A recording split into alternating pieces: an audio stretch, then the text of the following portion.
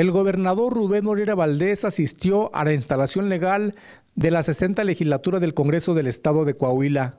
La de ustedes es una legislatura histórica.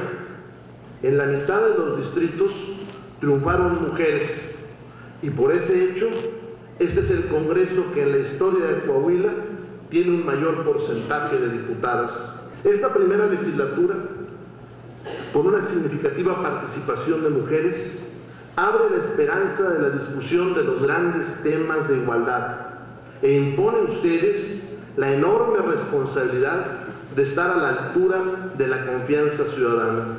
El gobernador insistió en que no bajarán la guardia en contra del narcotráfico y de garantizar a la población su tranquilidad.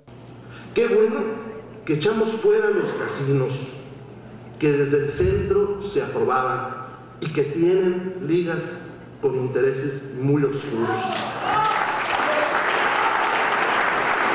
Qué bueno que echamos fuera a la policía de Torreón, aquella que en el 2008 se tiroteaba con la Policía Federal.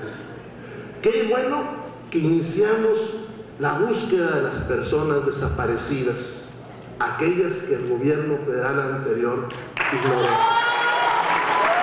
Con imágenes de Carlos Hernández, para RCG informó Eduardo Hernández.